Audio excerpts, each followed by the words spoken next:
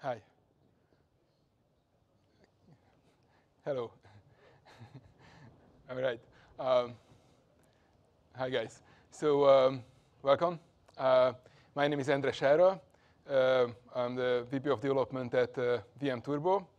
And I want to talk about uh, some of the experiences we had as we work with a number of our uh, large customers across various industries that are rolling out uh, OpenStack-based virtual infrastructure and, and how we've been helping them, what challenges they faced, and, and how they um, assure the performance of the applications running in their environment. Um, so um, I don't know how much, how much you guys have uh, heard about VM Turbo. Um, we've been around for, we started the company in 2009. Um, uh, we've got about 1,300 uh, enterprise customers or large mid-size uh, enterprise customers running a variety of uh, um, uh, infrastructure relative data centers based on usually a mix of different technologies from uh, KVM, OpenStack to uh, VMware, as well as public cloud options between Amazon, Azure. Um, and we've been helping them to assure the performance of their applications by providing them with a control system a control system that is able to understand the demand that uh, comes from their applications and how to match it to the supply of the infrastructure they're running. And, and uh, it's uh, very interesting how we could actually assure the performance of the applications in a, a, a large OpenStack environment, uh, very much like in other environments as well. Um, so just to get a bit of a feel, so how many of you guys are running OpenStack in production? Very cool. And uh, uh, in terms of size of the infrastructure, um, anybody with less than, you know, say 200 servers? Uh, sorry, sorry, more than 200 servers, maybe. Okay, cool. More than 100 servers. Very cool. Um, and and um, how many of you are running uh, relatively important production mission critical applications? Okay, cool. Uh, so, so what we see is, is actually interesting to, to attend uh, a series of uh, OpenStack summits as well as to talk to um, a number of OpenStack customers over the last couple of years and, and see the adoption growing in enterprises uh, from financial to technology to telco and, and, and we actually have a pretty good uh, spread of all of those customers. Um, and, and, and how it's increasingly more important to be able to make sure that the applications that you're deploying are not only agile, they can be deployed quickly, but they actually provide the level of service that the, the users are, are expecting. So, so as we are uh, talking to customers, um, we, we've seen a number of interesting challenges in terms of how do you manage this workload, how do you assure the performance of, the, of the applications and, and a number of shortcomings that while the technology that OpenStack out of the box provides is really good in terms of making it easy to, to spin up additional workload. There are limitations in, in both how do you decide initially where to place an application, how do you continuously assure the application performance, um, both in terms of um, um, um uh, deciding where to run the workload as well as how to uh, choose the right flavors for the right workload.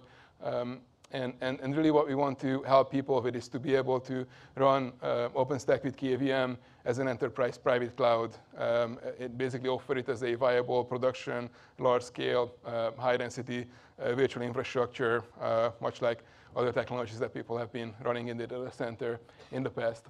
Um, and, and, and, basically to contribute to OpenStack and as well as to uh, add on our commercial um, offering to, to continuously provide uh, this application assurance, to provide intelligent workload management and control uh, in, in, the environment.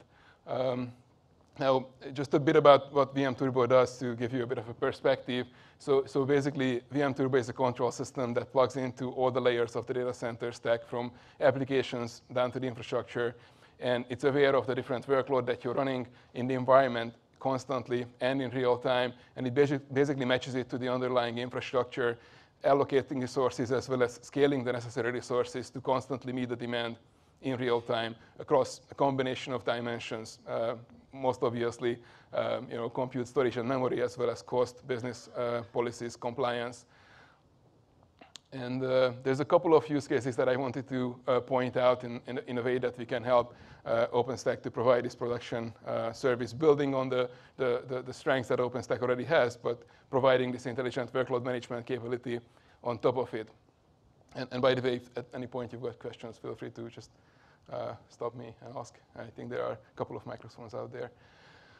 Um, so uh, one, one thing that's uh, you know most uh, obviously a, a, a, question as you offer, especially as you offer self-service uh, capabilities, um, you, you, need to decide uh, where to deploy these VMs. Do you have enough capacity, um, and, and, what's the best place for that uh, workload to run initially, as well as going forward? And, and, obviously, you can't rely on humans to do this because you want this to be agile, you want this to be self-service and fully automated. Um, Uh, and, and, and, what we see from customers as they, they roll out uh, large-scale infrastructure, they actually want to differentiate their services. They want to offer uh, different tiers of services and guarantee the performance of those workloads respectively across a, a shared environment. Uh, you could do this by segmenting your environment, but you end up wasting a bunch of money because some of your uh, infrastructure is going to be overutilized, some underutilized, and you may not still assure the performance of the applications. Uh, and there's a number of other interesting use cases. As you run production environments, you have to worry about software licensing. How do you not only uh, make sure that you're initially deploying the workload in the right place, but it continues to comply with your uh, software license uh, uh, cost, um, and, and, at the same time, of course, uh, perform. Um, we have, we have seen a number of customers uh, managing uh, affinity and uh, anti-affinity. And again, it's something that you have to uh, continuously uh, control, not just in terms of when you choose to deploy the first instance authentication, but as you continue to manage, especially a large uh, high-density OpenStack environment. Um, and, and there are a number of interesting technologies. Uh, there, there's a series of sessions on the uh, evolution of live migration and, and, and, and, even block migration in terms of the, the various vendors, storage vendors that are providing you better and better support. It gives you a good ability to choose any hardware, any compute, any storage that you want. Um, at the same time, it enables you to um, decide where to run your applications. Sorry. Um, and, and, and to find the best place uh, for your uh, workloads, such as making use of uh, local storage um, and still provide um, the mobility to be able to decide and actually control where your applications run within your data center. Um, and, and, and this also helps us to uh, provide better uh, uh, maintenance of the infrastructure. There are cases where you do have to do some maintenance, but you want to make sure that even while you're doing maintenance, your workload continues to run in, in places where it's able to get the resources that it needs. So it's just not just evacuating a host and blindly putting them someplace else, but you actually find the best place for your workload to run while you're doing maintenance uh, on these hosts. Um, so uh, to, to, be able to do this, um, VM Turbo contributes and takes advantage of both the instrumentation as well as the control points that are available in OpenStack. Uh, so, so we have contributed a number of uh, uh, bases to, to Nova, um, and, and to the API um, uh, to, to be able to get the necessary metrics to understand what the real-time workload demand is. Uh, for example, how much disk, how much memory, how much CPU resources are constantly in real time actually required for each one of your applications, as well as how your host and storage environment is being utilized. And based on this, make decisions both in terms of the initial scheduling decisions uh, to decide where to place the workload in terms of computer and storage, as well as to, uh, for example, live migrate the workload if it's a stateless workload, a stateful workload, uh, to find the best place uh, where it should run. And, and, and uh, we are basically relying for uh, core projects primarily um, between Nova Cinder, of course, Neutron, and, and Ceilometer for the instrumentation and, and for these control points. Any comments or questions so far? Because I'm probably rattling too, too many slides. Or not. Um, and, and, and this is uh, you know, just a screenshot uh, fr from our user interface where VM Turbo is in real time controlling what applications are running where, what virtual machine instances are running where in the environment, how much resources they, are, uh, they need to be able to perform, and what's the best place for them to uh, provide those resources, uh, both in terms of what applications are running on your VM instances, what is the most appropriate, appropriate flavor um, uh, for those instances to to, to, to match the application demand with the understanding of the underlying infrastructure capabilities. So you don't want to choose a huge flavor and then run out of resources. Uh, but at the same time, uh, uh, find the best place for each of these instances to run. I'm sorry. Uh, within uh, the environment, both in terms of uh, compute and storage. So, so what VM Turbo ends up driving is a series of actions that are in a closed loop control being fed back into the OpenStack environment uh, in automated closed loop control and, and not only showing you where your workload should run, how it should be configured, but it actually does it for you. So it basically constantly controls the environment um, and, and make sure that your application demand is met by the appropriate supply of your infrastructure. Um,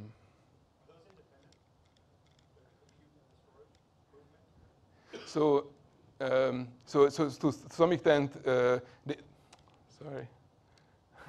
some extent they are. Uh, so if you are, if you have uh, shared Cinder services, then you've got uh, complete freedom on where to uh, move uh, your application. Um, if it's uh, running on local storage, we are actually going to do block migration to, to move it to another host together with its storage. So we are aware of the dependencies between your compute and storage connectivity and, and, and able to find the best place for your workload and orchestrate and drive the, the, the, the actions drive the API calls to make sure that you, of course, don't break your application while you're finding the best place for it to run.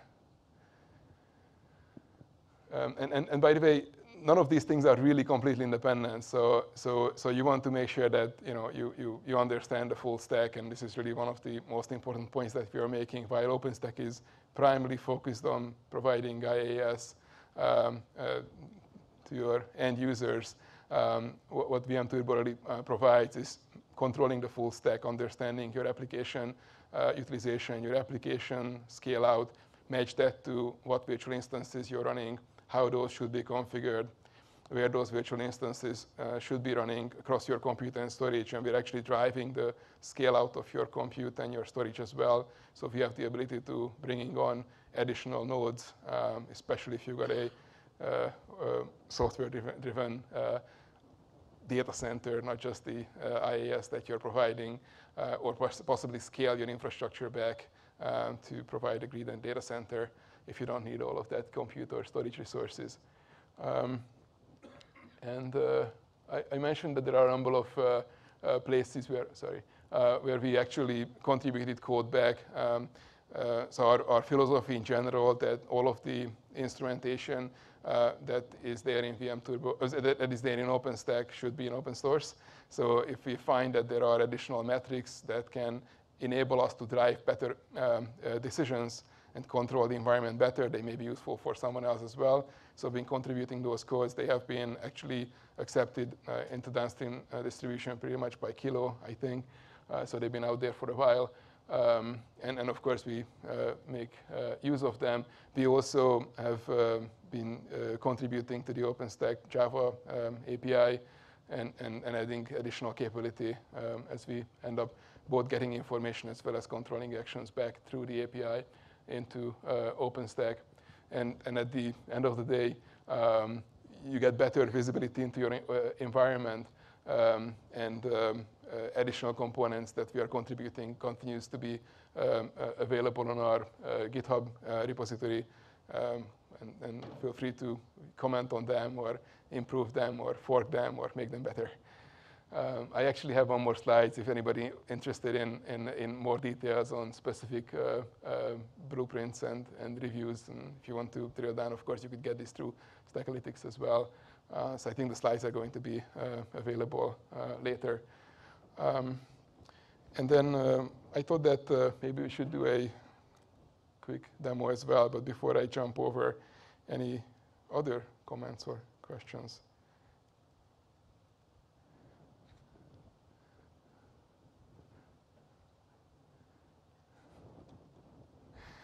All right.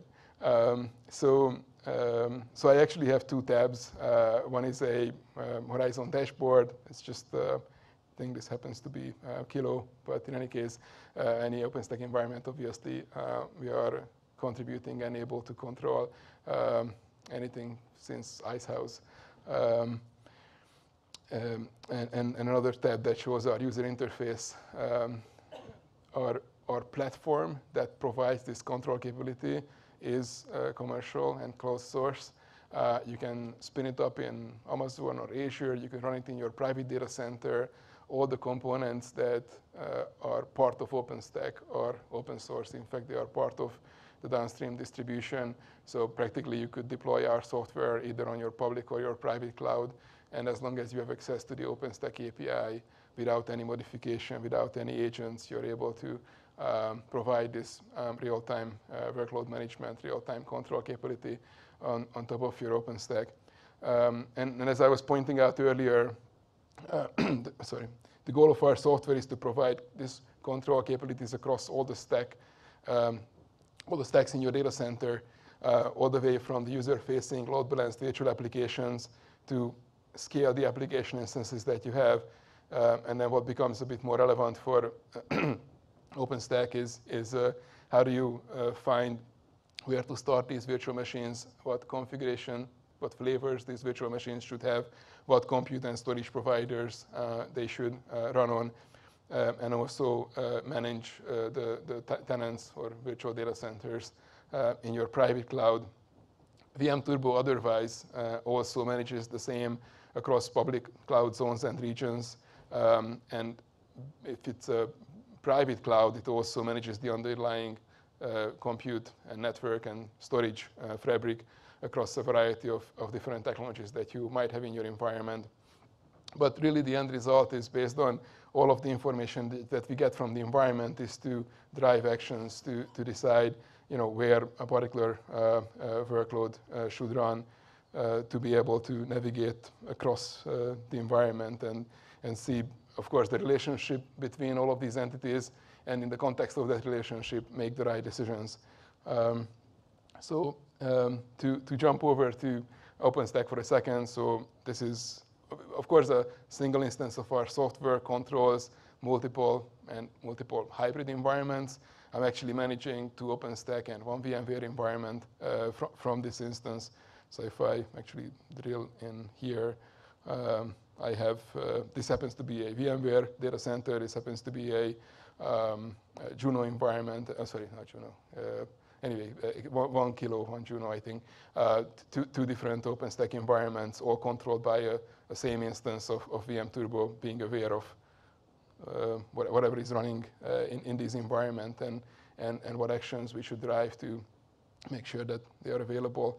Uh, so um, uh, if, if, if, so to, to the previous use cases that I mentioned, if you want to make sure that you're not only making the right decisions on where to uh, start the workload, but where do you um, want to continuously uh, assure the performance of those applications run those workloads in the environment, then uh, any control system, in this case VM Turbo, has to be aware of, of a number of other constraints that are otherwise available in uh, OpenStack it's just that this control function is missing for them. So for example, if I want to um, limit where do I run Windows uh, workload to these three hosts and where do I run Linux workload into these two hosts, and notice that some of them are overlapping because some hosts I licensed for, for both.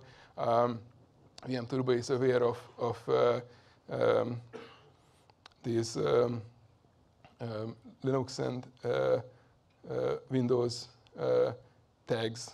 Um, so these are my Linux hosts, these are my uh, Windows hosts. Um, and, and as we decide to, uh, to, to start additional workload, uh, it is not only controlling where this workload should start, but continuously finds the best place um, uh, for your uh, instances to run.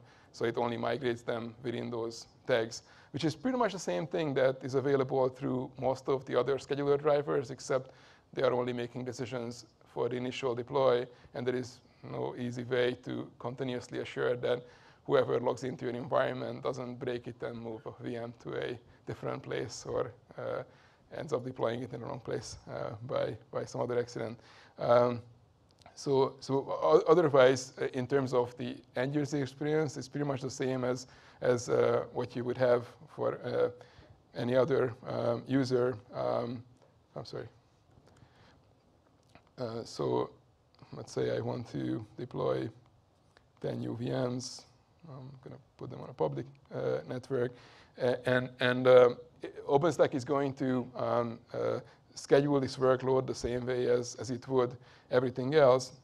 But if you're looking at the um, scheduler driver, um, what, what it's going to do is um, it's, it's actually going to, from the scheduler, continuously communicate with the VM Turbo instance, find uh, the best place for each instance to run in the context of where, uh, what constraints you have, what flavors you have, and what's the actual current real-time utilization of your infrastructure, decides where to uh, spawn these VMs, and of course, feed that back into uh, Nova to, to actually um, spawn those VMs in the right place, and at the same time, uh, discover those VMs and then start to monitor their real-time uh, resource uh, demand and match them to the uh, best place where they should run based on their ongoing resource demand as well as based on the ongoing constraints that you see from the environment in terms of how your hosts are available and of course all the other business or licensing constraints that you have defined. So uh, what we see here is basically the scheduler just chugging through each of the instances that I'm, I'm, I'm starting and, and, feeding that back into uh, OpenStack, and you see uh, the instances starting on the various hosts that uh, sorry, VM Turbo decides to uh, store them on. So of course you end up uh, seeing the instances running as you would in any other OpenStack environment. Um, And, and if I go back to VM Turbo, we'll, we'll end up seeing a uh, growing number of uh, instances uh, showing up as uh, like these guys. Uh, we, we, start to uh, collect metrics through Ceilometer about their actual resource utilization, and then continue to match them to the best available supply across the hosts that are available in the environment uh, which, whichever is providing the best combination of resources that they need in the context of everything that they are, are using, CPU, memory, um, storage, network, I.O. Resor uh, uh, resources.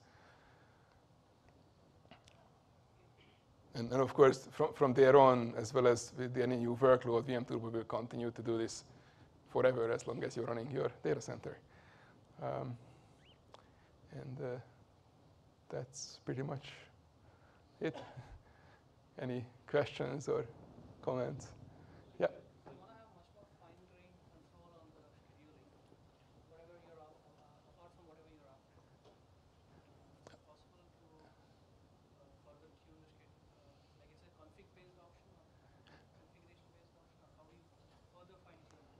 Okay, so, so I think the question was how do you control the scheduler uh, beyond what's uh, available. So on one hand, uh, there are a number of options that are available in OpenStack natively, uh, such as affinity, and anti-affinity uh, rules, uh, tags on the flavors, and the host aggregates. All of those are picked up by VM Turbo. So whatever you comp configure in OpenStack are, are available um, um, out of the box in VM Turbo. In fact, they are being respected uh, out of the box uh, in VM Turbo. Uh, if you want, you can define additional uh, workload placement uh, policies that ends up becoming part of our abstraction.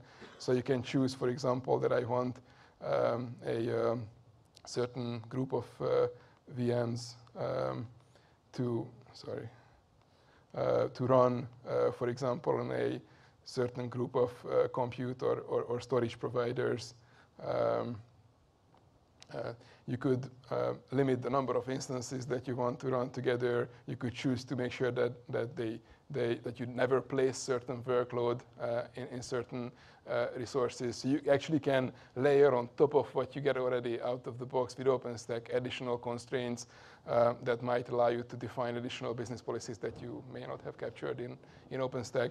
Obviously, all of these capabilities in VM Turbo will work across multiple OpenStack implementations. In fact, it will work across multiple virtual infrastructures that you run, not only across multiple private data centers, but across the combination of your hybrid cloud, uh, your public cloud, and your uh, uh, private cloud usage. So you could define business policies or business constraints that go across your whole hybrid data center uh, on top of what OpenStack already exposes.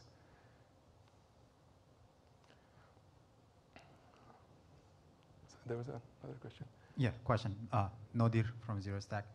Um, let me start from the abstract you provided and talk you gave. Uh, what is the ultra high density workload here? So, so, so in general, what we see is that, um, if I flip back to my slides for a second, um, is, is that um, um most of our customers uh, started out, before they talked to VM Turbo, uh, solving these problems by segmenting their infrastructure, creating a separate host aggregate for Windows workload, creating a separate host aggregate for tier one, a separate host aggregate for, for tier two, and most of them end up wasting a large part of their infrastructure. So really, uh, what, we are, what we are offering to them is an ability to provide this real-time control that allows them to share the same infrastructure, respect the constraints, but actually achieve a much higher utilization of their infrastructure and still both comply with your business constraints as well as meet your real-time resource demand. I see. Okay, so it's less about workload, but it's about being ability, like, don't let idle hosts stay there. Well, yeah. them, do not aggregate, but run together. Yeah, so I mean, in, in general, uh, in terms of, we don't really have a preference on how much you want to utilize the infrastructure. I think in general, we heard from most of our customers, they want to be greener. They also want to minimize their capital costs. They want to provide a, a viable uh, alternative in their private data center to public options, so they find the right balance on where to spend their money. Um, some, some of our customers, you know, uh, trading financial institutions may run at a lower level of utilization, but they still want to utilize their hardware as well as they could, and some of the service providers run at a much higher uh, level of utilization. So it's really up to them what high density, high density means in their environment, but by allowing them to run on a much larger liquidity pool and a much larger shared infrastructure, they're able to better utilize the infrastructure that they have, and of course, assure the performance of their apps. Sure. I have two more questions. If anyone has question, go there and I'll stop. Otherwise, I, will keep going. So the second one is QoS. Yes. You uh, said uh, the market identification algorithm lets you do, lets you provide QoS on uh, Nova and Cinder. Can you elaborate more on it? Sure. Uh, so, so there's a couple of things. Uh, one is that um, um, by continuously being aware of what resources any particular instance needs and find the best place to run them, we're going to make sure that every application performs as well as it could. Now, if you've got a lot of resources, that's probably fine. Uh, what we see a number of our customers is that they actually want to run on less infrastructure, which means that occasionally they've got uh, various dynamic workloads that are spiking at different times. How do you combine um, workload that's supposed to provide a higher level of service with other workload that's uh, providing a lower level of service? Um, so really, we look at this as two ways. One is that there are built-in capabilities in OpenStack that are, for example, allow you to um, assign CPU shares to various flavors. We actually take advantage of that, and, and we are finding a way to combine different workloads with different CPU shares so that you end up mixing the right combination of workload. So let's say that you've got a gold tier of service with X number of CPU, CPU shares, and you've got you know, bronze with half as much. Uh, how do you combine them together? So even if they spike, you can uh, assure that the, the gold workload gets its resources, um, uh, where, where, the bronze workload may not get its uh, CPU shares. Um, so, so what we do is we basically pick up CPU share specs from the uh, flavor. We, we, we, look at how much, uh, how many instances have already been provisioned across your host, and together with your real-time resource consumption, we find the best way to, to mix them together um, so you actually it allows you to differentiate, but at the same time still use a shared infrastructure. I see. So your example was CPU, yeah, but you do on storage and network. Yeah. So, so, so, basically, what we've done, and I, I, guess I didn't really talk a lot about VM Turbo, but I guess I should. Uh, so, so in general, um, this is a pretty complex problem because a lot of dimensions. Um, in fact, if you look at the whole stack, there is a whole bunch of things that one needs to control to be able to assure the performance of the apps all the way from apps down to, to physical data center. And, and, and what we've done is actually, actually created a abstract model, which uh, is a marketplace of buyers and sellers.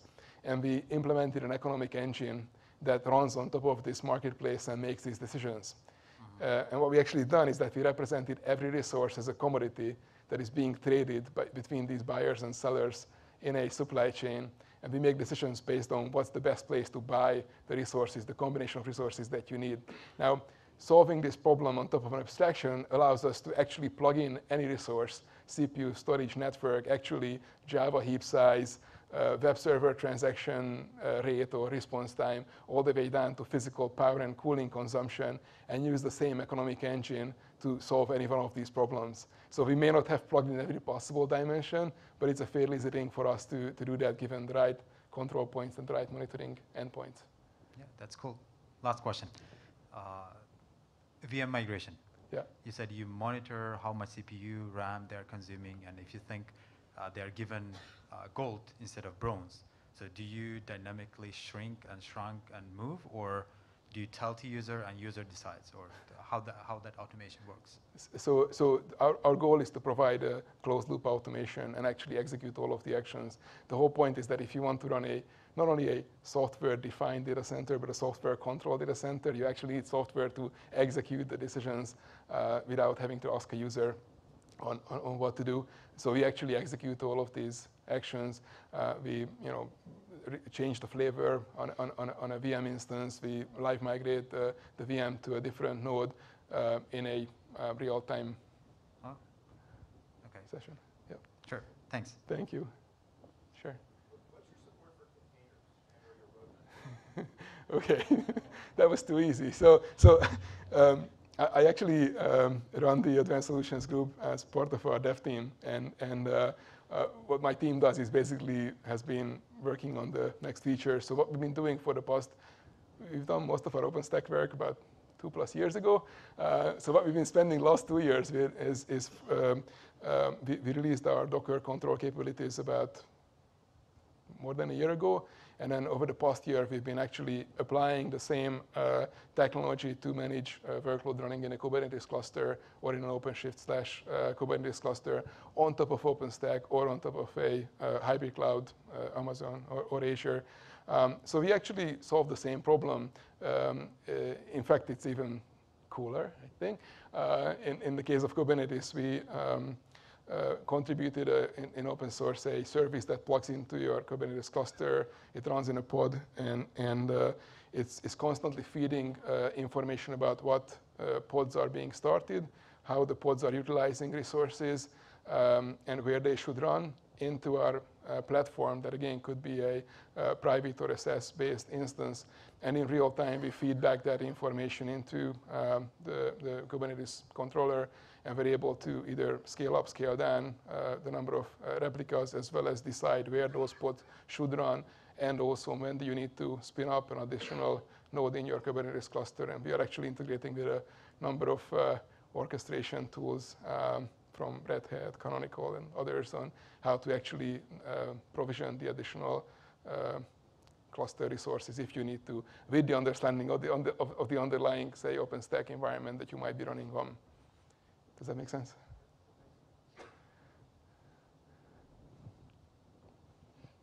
Okay, anybody else? Yes? We have time. I can keep going on.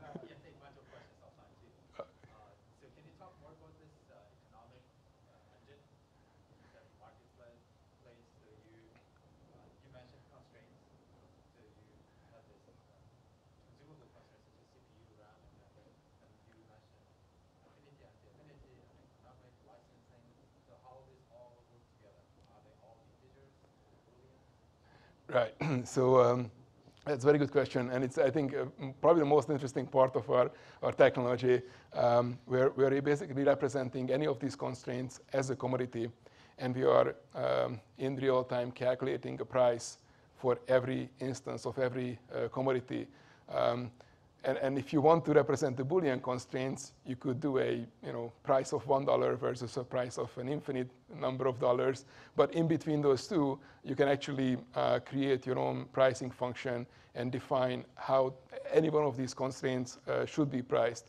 Now, the advantage, uh, and really probably the most important uh, aspect of our technology, is, is, is creating this common abstraction as a price, because that allows you to trade off conflicting constraints with each other.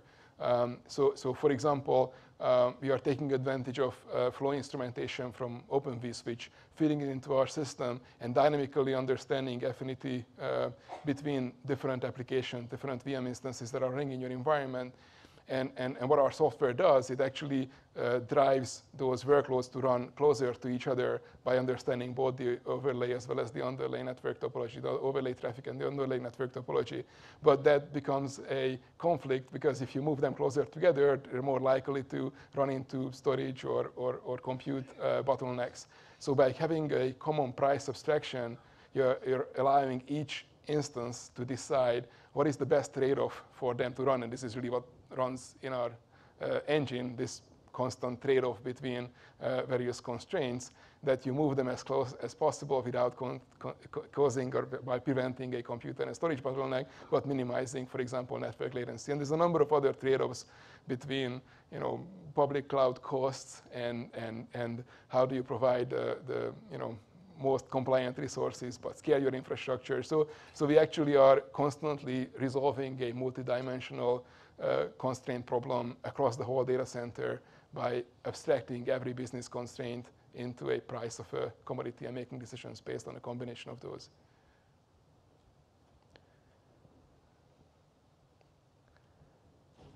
Okay, and, and of course, we'll be around if, if, uh, if you guys have more questions. I'll be here and we'll be at the booth as well. We've got a booth on the marketplace, so feel free to come by. Happy to give you a more detailed demo or deeper dive into our technology. Thank you.